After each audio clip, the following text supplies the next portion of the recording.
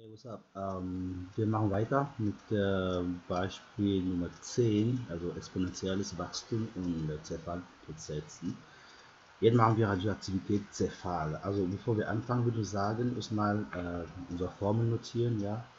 Ähm, N hier, N bei Zerfallprozess ist, äh, also diese Formel bei Zerfallprozess ist ähm, N von T T gleich N0 natürlich wie beim anderen N0 mal dieses Mal B statt A minus äh, hoch minus T, ja, weil das ist hier, es geht um Zerfall, also es kaputt gehen oder sowas, ja. Das wäre die Werte werden runtergesetzt. Und warum B? Hm, keine Frage, das wäre hier Zerfall, ja, Wachstum, wo, wobei wir, also, oder Zerfallsrat, ja, wobei wir bei Wachstum äh, äh, Zuwachsrate hätten mit, äh, mit A. Okay, dann werden wir B benutzen. Also keine Frage, du kannst A, A benutzen. Hauptsache, dass du weißt genau, was du tust. Da kriegst du immer die gleiche Antwort. Okay. Jetzt legen wir los. Unser Beispiel äh, zu Beginn der Beobachtung besteht ein radioaktives Präparat aus einem Milliarden, Milliarde Atomen. Okay, da haben wir hier N0, N, ja, ups, da haben wir hier n an der Zeit 0 ist gleich 1 Milliarden. Ich werde das abkürzen, ja, 1 Milliarden. Okay. Äh, natürlich bedeutet hier, dass t gleich 0 ist. Okay, finden wir.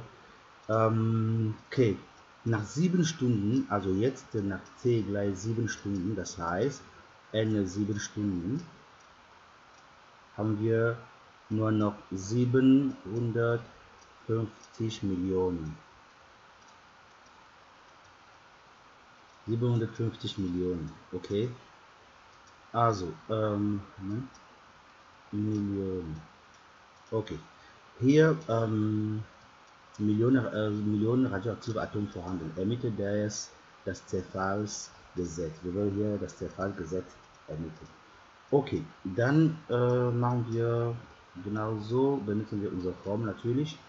Da haben wir hier, äh, hier unsere Endwert, ja, werden sie N7.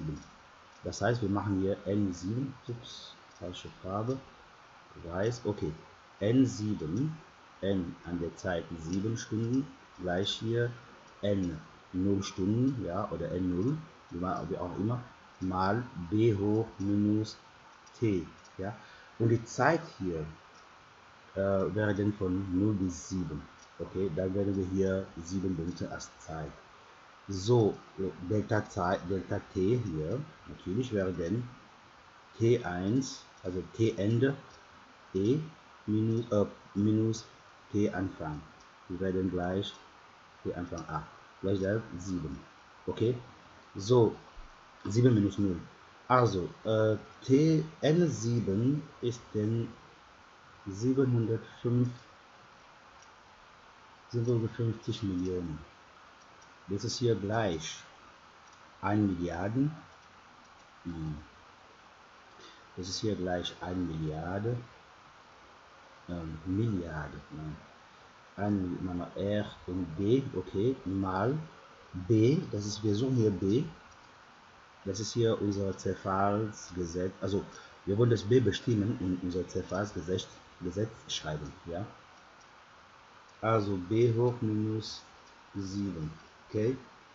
So, wir machen jetzt äh, ähm, 750 Milliarden, Millionen geteilt durch äh, äh, 1 Milliarden. Dann gibt uns hier 3 Viertel ja, gleich hier b hoch minus 7.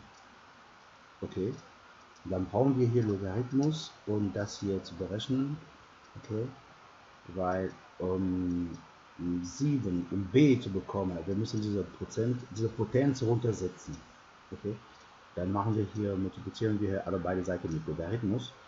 Das bedeutet, das ist hier ein ähm, Logarithmus von 3 Viertel hier ist 0,75 ist gleich minus 7 Logarithmus von b. Ja? Okay. Dann äh, Logarithmus von b, wenn man hier mit minus 7 dividiert. Mal so ein bisschen clever schreiben. Also durch minus 7, dann bekommen wir hier Logarithmus 0,75 geteilt durch 7 ergibt 0,041. Das ist hier gleich Logarithmus von b. Und hier, um b zu bekommen, brauchen wir exponentielle Funktionen dazu. Ja? Da müssen wir eine e-Funktion dazu multiplizieren, um b hier von Logarithmus zu trennen. Also das bedeutet dann Expo von 0,041 gleich Logarithmus von e hoch b und dann b kann runterkommen. Okay, also das wäre dann hier, das bedeutet, wenn wir e hoch 0,041 gleich den b. Okay? Und wenn man den Taschenrechner gibt, dann bekommt man b gleich 1,0 b gleich 1,041 1,041 okay das ist hier unser Zerfallsrad. Okay dann schauen wir zurück, wir haben alles, wir haben nt, also ist eine Funktion von Zeit, als Funktion der Zeiten, das ist gar keine Frage. Wir haben n0, ja, dann können wir nur noch, wir hatten gar keine b, b haben wir gefunden, können wir unser Zerfallsgesetz schreiben. Unser Zerfallsgesetz bedeutet denn, also wäre denn n gleich, also n von t, n von Zeit t gleich, wir haben hier 1 Milliarden 1 Milliarde mal b ist hier 1,041 das alles hoch das alles hoch minus t gezeigt okay oder minus 7 wenn du möchtest aber das haben wir da wo wir hier mit der Zeit t geschrieben haben müssen wir hier t haben weil wir, wir wollen hier nur ein Gesetz über äh, ermittelt okay also das ist hier unsere Antwort ja das ist hier, was gefragt wird, unser Zerfallgesetz. n von t gleich 1 Milliarde mal 1,041 hoch minus t. Okay? Also danke fürs Zuschauen nochmal, äh, Alligator. Und äh, see you later. Good night for a while, Crocodile. Bye bye.